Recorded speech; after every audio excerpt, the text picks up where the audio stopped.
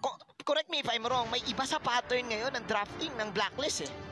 I would say na iba kasi nakalimutan natin yung pattern nila kapag nandun na si Oheb. Mhm. Iba yung pattern nila kapag wala si Oheb and iba rin yung pattern nila with Oheb. This time yung Lunox sa kanilang napili which is in a way magandang burst sana siya versus this uh, Nathan. Ang problema nga lang syempre yung Karina nandyan and then meron kang Akai na pang-protect. Here we go. And ang bida talaga sa side ng Blacklist International is going to be Wise. Late game, ibigay mo yan sa Blacklist pero yung early to mid, kapag naka-snowball ang, uh, ang Onyx, pwede nilang kunin ang laban na to. And that was the match up earlier na pinag-uusapan ng ating panel. Wise versus Kyrie. Magkaibang one veteran and one present para sa MPL. Magkaiba rin ang skill set. Now with this Karina, or should I call it Kyrina, Kyrina.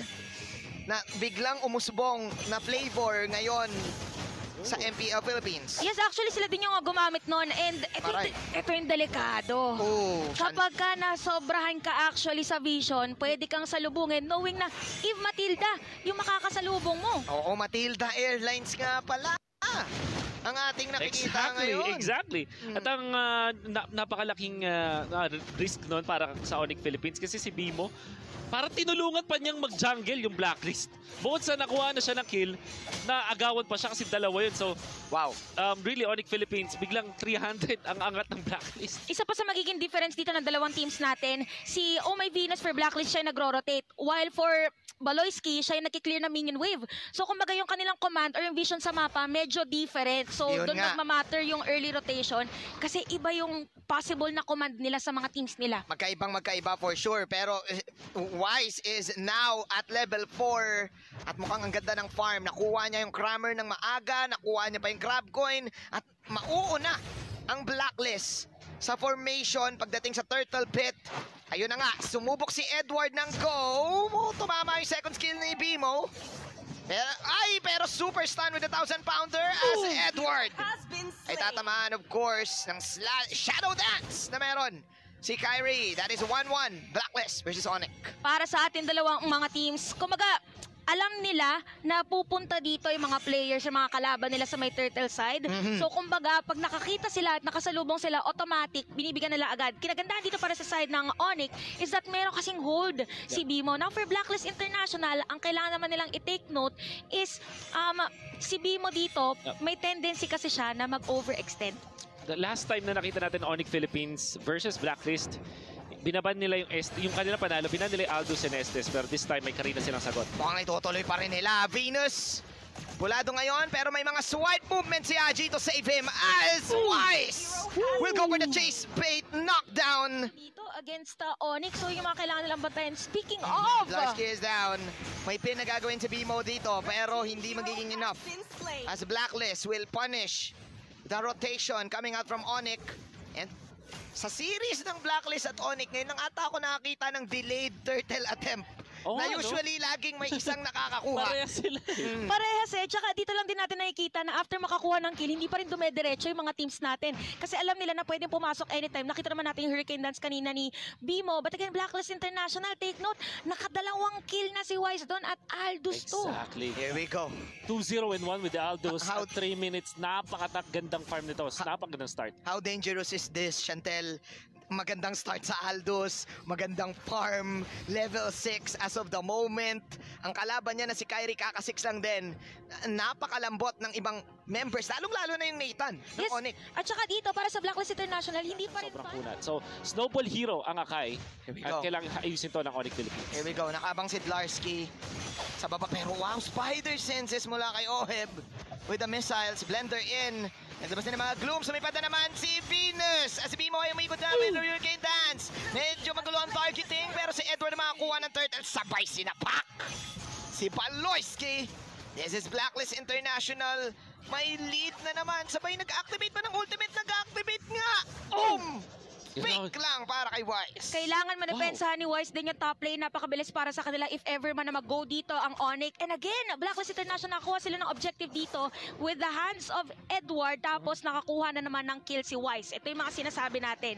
For Onyx, kailangan bantayan nila kung kailan sila papasok. Kasi Blacklist International, they're all over the place. Yun nga eh. Lahat no, parang pati yung bottom lane, this is Edward manning up to the Pakito, also Exactly. having the turtle shield. Oh, nasa kanya kasi Wow! yung turtle buff eh. So, extra damage para sa kanya for sure. At syempre meron siyang shield.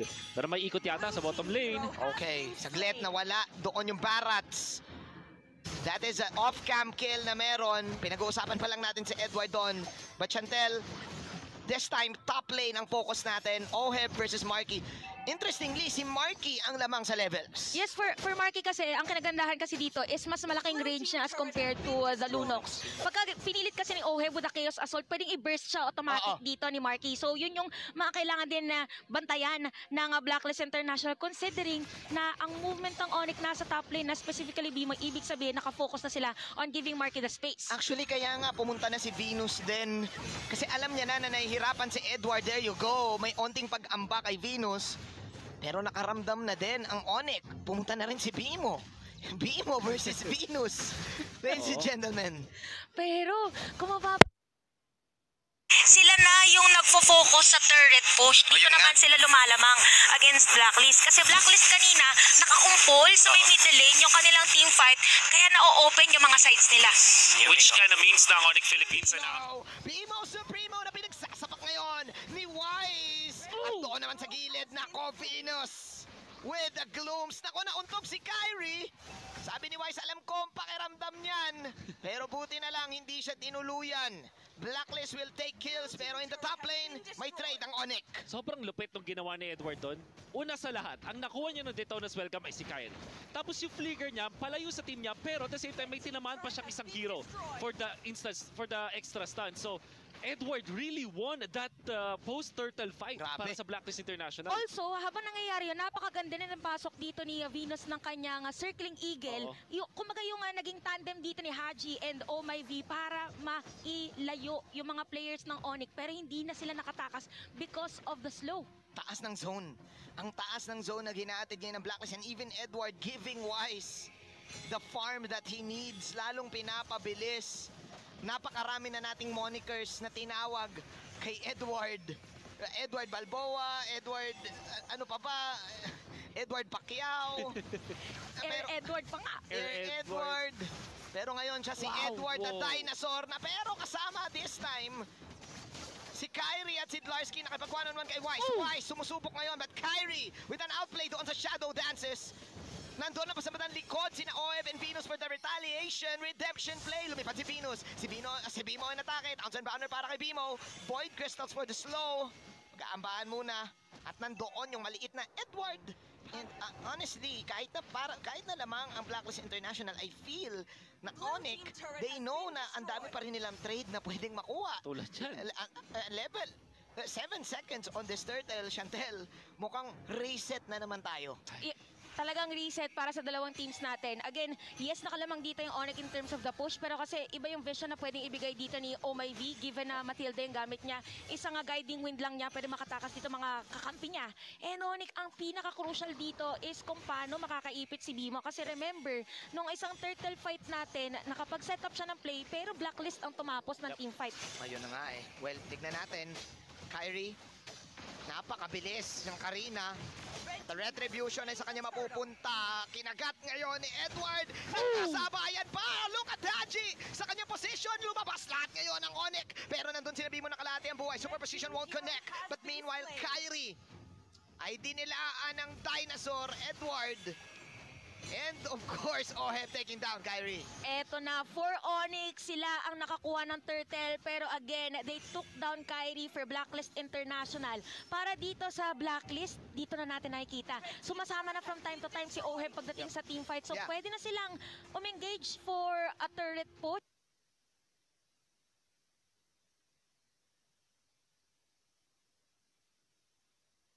Pero, ang kailangan naman nilang bantayan, si Dilarsky kanina pa nasa bot. Yep. So,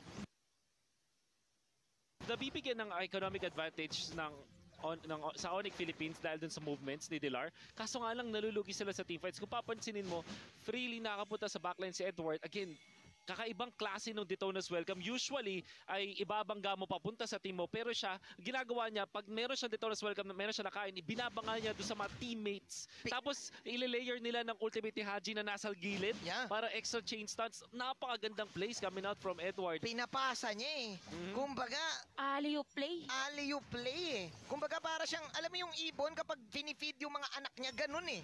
Pinapasa doon. Ti- tinutuka muna Tinu- tapos Oo. dinudual. Pero makikita natin dito Blacklist International, ang taas na ng farm ni Wise. Exactly. Napakabilis niyan for a 10-minute game time. Kumbaga, kaya napakatapang na ngayon ng Blacklist na mag-set. At saka 4-0-3 pala si Wise. Ooh. Seven Exactly. kills ang naiambag together with Venus. Pero ito guys ha, kaila KDA machine, look at this. 8 assists. Wow! 100% actually, siya talaga yung nagdi-dictate din ng tempo dito pero bottom lane, direkado yata si Wise. Tina-target nila pero ayun, naging spaceship. Pero hinarangan! Ang gandang block na meron ngayon side ng Onyx. Pero nag-deliver si Haji. Kailangan na ba mag-back ng Onyx? Pumasok si Venus! Eto na! Ay, naku po, Venus! Inatake lang si Marky KO. Pero dalawa na mawala sa side ng Team Blacklist International dahil nasa likod pala si Haji. Si Kyrie pala! The assassin! The present! Tumatakbo ngayon si Haji. Kyrie Uy, is here. Crystal. Sobrang gandang slow. Grabe yun! Para hindi siya maabot Off angle! Off off angle para dito kay Haji. Pero tatlong nakuha ng Onyx. Tapos pwede, Ganda. pwede nang kuhanin dito yung Lord Objective. Oh. De-derecho. And Onyx ang makakakuha nun. So, napakaganda play mula Sonic Philippines. Sa atin yung ginawa nila, nung mag-ulti na si Wise, si Marky na malayo, siya yung tinarget. Sabi niya, okay, nag soup nag ano siya nag-switch account siya sa teammates niya. Makikita natin sa replay brought us by Oppo. Eventually si Venus ay itutulak muna ni Marky kaya nakapag-damage muna siya bago siya namatay. Tapos sa likod nandun si Kyrie. So ang ganda bigla nung ah, nung collapse ng Onyx Philippines. Imagine si Marky tinanggap niya yung suntok ni Wise instead na lumayo Yeah. kaya Nila- napatay nila si Wise. Tapos yung sinasabi natin kanina Hurricane Dance dito ni Bimo, ginamit niya rin ng mainam Oo. against Aldous kanina kasi nailayo niya rin doon sa real world manipulation ni Haji and Onyx. Ito yung sinasabi natin, pinaliit nila yung mapa ngayon ng Blacklist. Lumiit ang mapa ng Blacklist and Marky. ah, like what Wolf said, si, si- tinanggap yung sapak ni Wise. Ang bagong bad boy. Grabe. ang bagong bad boy sa MPL. si ba- Mr. The Bad Boy eh, no? Mr. Bad Boy. Ah, ah, pa, medyo bad boy, Medyo Marky. Bad Boy, Marky. With the four Wise. Pero Ay, si nako. Okay. Entropy in para kay Marky. Medyo magkukulapsa naman ngayon ang Edward. laban. Edward naghahanap ng kanyang ngitin. Pero sino yun? Nagkakansela na. But Haji with the super slows. Nandun si Dlarsky na nasa bandang gilid. Nauntog na. Hindi na siya makawala sa ring. Nasa loob na Oh, siya. Papi. Pero mukhang itutuloy pa rin ng Onyx. Nag-call ang Onyx ng laban daw. Laban lang sabi nila. Pero atras muna as a blacklist. Sabi nga ng mga players, nice def. Nice, def para sa Nap- blacklist. Napakagandang def kasi usually pag uh, level 1 Onyx, that is massive here. At this point, don't forget they've got name primed and ready. Marky, despite being 0-1 and 2 on that name, is actually quite ferocious. Yeah, look at that low kills. I mean, we're used to seeing games now at this point like 15 plus kills per team, 20 plus kills. But at this point of the game, it's only 9 to 6. And Onyx are in control. But Blacklist, they're not out of this game. Yes, Onyx are controlled. They seem to be handling the fights well. Kyrie is timing the use of his uh, damage immunity. Marky now has a win of nature. The Blacklist, they're still in this. One big play by Oheb, Wise, Haji even with one big great RWM and Onyx. If they misplace and mistime their abilities and misplace, misposition themselves, that's how Blacklist can turn it around. You mentioned the Prince. You mentioned Oheb. Haven't felt him as much just yet. Yeah, not quite. I think that is uh, surprising considering what we've seen from him in the past series. Even in the previous days of the uh, playoffs, he was he was on fire. Right now, that fire is definitely being watered down here by Onyx. Yeah, it's a testament to again that turtle that Onyx decided to give up because Kyrie didn't have his retribution. He decided to help Marky. Marky got to maximize the gold there. Oheb was not able to maximize the gold from the turrets. Plus the fact that Kyrie's just been looking for Oheb. His second death earlier came from the fact that Kyrie, even though the rest of Onyx were in that team fight, Kyrie was like, no, I'm just gonna wait for Oheb. And then he was able to find him. So it's great targeting and tracking right now by Onyx that Blacklist, now at this point, are having a hard time maneuvering around the map and in team fights. Space check here by Wise. Conceal forced out of BMO. Could have been disastrous for the Aldous here, but he's gonna get his orange buff stolen away. Onik is going in for the choke. So this is a uh, complete opposite of what we usually see when Blacklist uh, are actually playing on this August. Usually they're the ones who are doing the hunting. It's a completely different story, and this is just showing how Onik just seems to have read what Blacklist usually wants to do, and they are actually not really countering it, but they're going, they're just playing a lot better with the lines they have. There's no counter here. 15 minutes in, Lord just spawned in. This is uh, a Luminous Lord, Venus, playing footsie with Boloyski. Renmar, you see Oheb here, pick up the Holy Moly Crystal. Is that going to be what he needs exactly? Is that going to help turn things around for, uh, for Blacklist here? Yeah, it helps him with damage, but he'll need to be able to execute what with what is a very choke-centric Onyx team fight style. Boloyski looking low. Can Wise finish up? There's the Order of Brilliance. Kyrie taking quite a bit of damage. Circling Eagle set in from the back line. Wise knocks out Boloyski. Could there be another one coming in?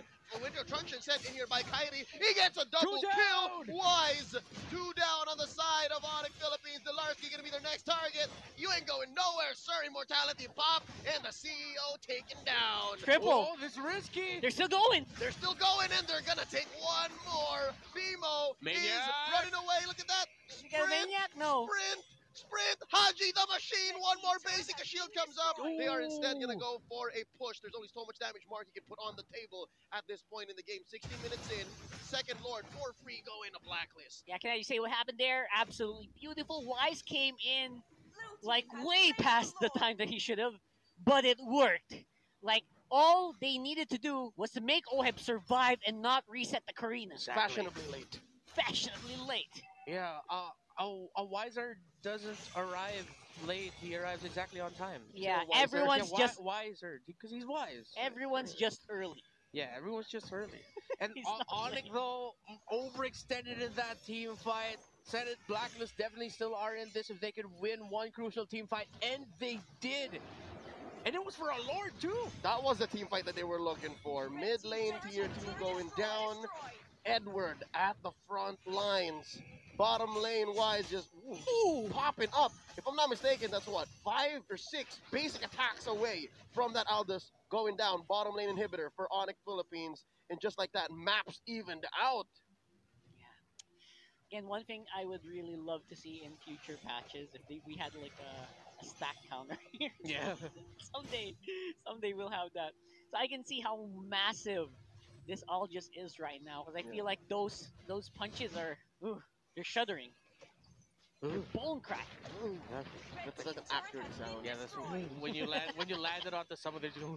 yeah, exactly. That's how you do it. Oh, they have to be careful here. Blacklist is looking for another entrance. There's an RWM keeping BMO down. Kyrie and Dilarski looking for an entrance. They find it. Into the back line they go. Oheb, and in comes Wise oh. with that chase fate. BMO, Hurricane Dance onto the Aldous. He's going to go down here. A punch in by the Yikes. Aldous. And Circling Eagle, Kyrie caught out of position. He's getting chased by all five members of Blacklist International. Will he survive? Answer Oh, might be no, because there's a. Holy Crystal. Damage set in by Haji. And there's a shutdown. Oheb, finally, welcome to game number one. Bad, but I think that's the best case for, for Onyx right now. Ky- Kyrie bought a lot of time. Oh, yeah. But, They can clear this wave, I think. yeah, Blacklist is going for the mission Oh, here, and that's mission taking top lane inhibitor. So that's the first penetration of this game. That's the first inhibitor taken down, and they trust their minions and their turrets so much. I know what you're talking about. The machine. Kumbaga, kahit yung real world manipulation nga dito, parang naging machine na rin Oo. for Blacklist. Kakagamit niya lang kanina, nagagamit niya ulit. And ito yung delikado for Onyx. Ang pinakakailangan nilang iwasan is mga moments na pinipilit nilang pumunta sa likod. Kasi yun yung strength Exactly. ng OB eh. So tinry ni Dilarski na i-cancel yung ultimate doon ni ah, Haji pero parang hindi rin yun napaganda. Meron siyang Winter Trance yun, tapos Flicker Plate. So naging safe naman siya. Yeah. And then Wise, inipit siya ni Bimo papunta doon sa sa torre ng Onyx pero parang napasama pa kasi parang lalo pang nakasuntok doon si Wise. And that meant na nakapag-push ang blacklist. Ang pinag-uusapan natin kanina was the late game of Blacklist International. Mm. You have Aldous Wise. You also have the Lunox on Oheb. But one guy, Haji, Mhm. making it easy for his his scores. Yep. Hajiji easy for his scores. Exactly. Yes, The- iba, iba iba dito eh, may si... zone eh. Iba yung ah, um, mental stability actually dito ni Haji kasi may mga moments na napakagulo ng team fight pero makikita mo kung saan niya dinadala yung Yes. um, mga bitawan niya dito for the Mhm. real world manipulation. Kumbaga silang dalawa ngayon ni Oh My V ang nagdidictate kung sino ta-target. And minsan nga si Oh My V, tagapagligtas na siya ngayon. Tagapagligtas eh. Oo nga eh. At alam ng Onyx to. Alam ng Onyx, okay, kailangan, tama ka Chantel eh. Kailangan natin kunin yung likod. Kailangan mawala yung zone na meron. That's why umaabot si Kyrie doon sa dulo. Na, talaga lumikod. Oh no, okay si Wise. Si Wise na ipit. Ito ang kanilang target. Nandito si Naohay for the save. Wise, meron siya immortality ngayon. Pero mawawala yung immortality. And doon si Naohay brilliance. Pero si Haji pa rin. Swipe in, swipe out. Habang si Kyrie siya naatakihin. Pero lumipad na naman ang tagapagligtas na si Venus. Kyrie tumatakbo na. Si Edward nginart-ngart. Yum, yum, yum, yum, yum. But Haji with another kill. Haji is alive. Hindi na pala. Dahil si Kyrie malalasit siya. Pero si Baloyski Baloyski. tumatakbo. Dumidepensa na lang si Bimo Supremo. But that is still Blacklist International getting getting three kills. Haji for the first time finally nagkaroon ng death thanks to Kyrie. At Kyrie, Uy, hindi pa tapos. Pumipwersa na lang. Mainit. Pero ang unat pa rin lumipad ang Reyna. Bimo, immortality. At mukhang makakapagdepensa pa rin si na Kyrie. Wow! What is happening? Kailangan talagang dumepensa dito na Oni kasi yun nga lang. Ang pinaka-dedepensa na sa kanila, una mabubuhay si Marky. Okay, meron silang pag-clear na minion wave. Grabe. Pero sira ang inhibitor turret. Grabe dito yung Blacklist International, yung Ruby DD play ni Oheb Yun actually. yun talaga. Just to save his teammates. Ganon kagrabe yung teamwork dito ng Blacklist. Mas close. Isang lane lang. nito. Isang lane lang. Kaya na naprotektahan ni Oheb ng todo si Wise that time. Sobrang bilis na Lord take. For sure, may Lunox. Op, op. Pero napakabilis ng Lord na yon. Okay. As Blacklist, finally, another Lord.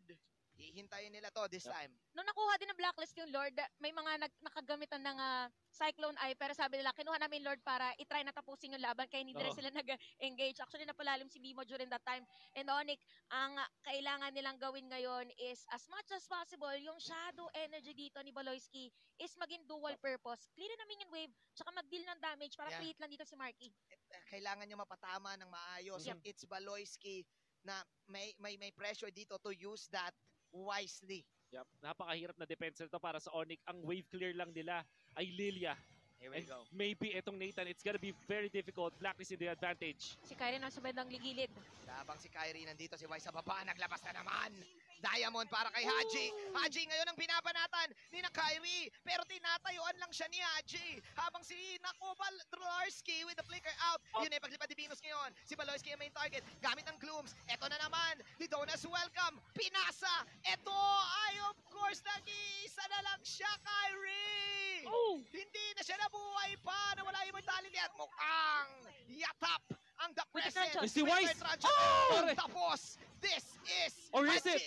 GG well played game number Edward! one Woo!